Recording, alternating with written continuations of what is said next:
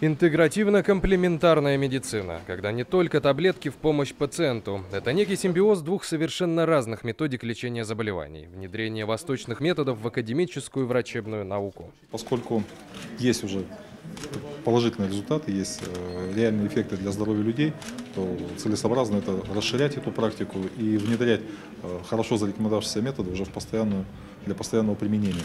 Э, Для этого необходима соответствующая нормативно-правовая документация, регулирование соответствующее.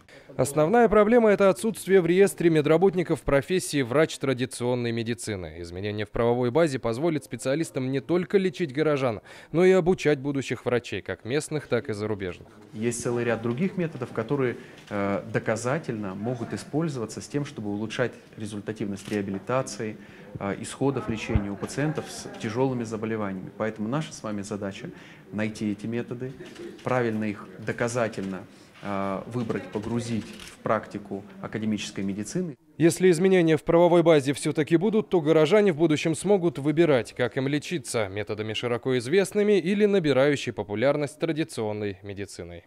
Илья Бельков, Андрей Дармаев. Новости дня.